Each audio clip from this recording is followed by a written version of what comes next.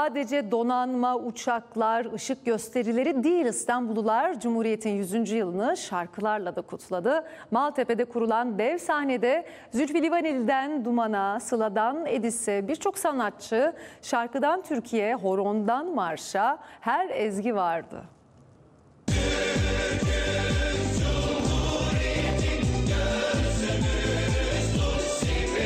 Zülfü Livaneli, Duman, Sıla Edis dev sahneye çıktılar. Maltepe'de 100 yılın kutlaması vardı.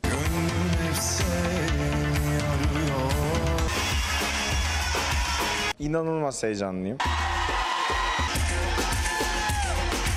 Bir daha bir yüzyıl olmayacak. O yüzden gerçekten dediğiniz gibi tarihi bir anı yaşıyoruz.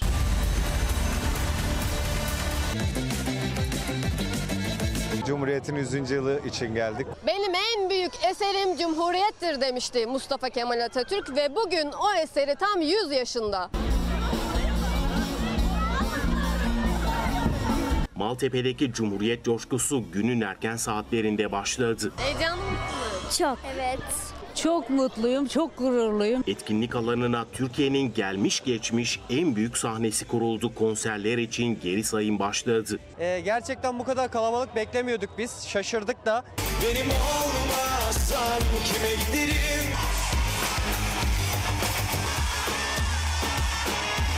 Maltepe'deki 100. yıl konserlerinin başlamasına sayılı dakikalar kaldı. Ne bekliyor bu gece seyircileriniz? Böyle bir şeyin içinde olmak bile zaten çok büyük bir onur ve bir gurur. Ekibiyle birlikte iki aydır bu konsere hazırlanan popçunun sürprizleri de vardı. Show boyunca yani genel olarak bir pop müzik dinleyeceklerini bekleyen seyirciler bir anda o müziğin içinde Türk sazlarının olduğunu fark edecekler. Dediği gibi yaptı. Halay da çekti.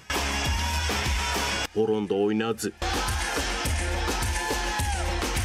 Sadece Edis değil, Zülfü Livaneli, Duman ve Sıla da Maltepe sahnesindeydi.